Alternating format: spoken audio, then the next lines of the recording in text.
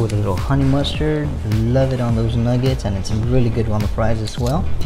Quarter pounder right here. We're gonna go ahead and remove our bun from the rest of the burger. There we go.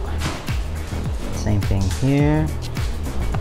Now, patty, go ahead and place it in, adding a little extra cheese and to make that stick to our dough, that little egg wash here. Come back to the bun, get that stuck.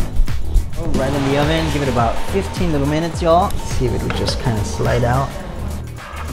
And it sure did, look at that. And here we go, have it.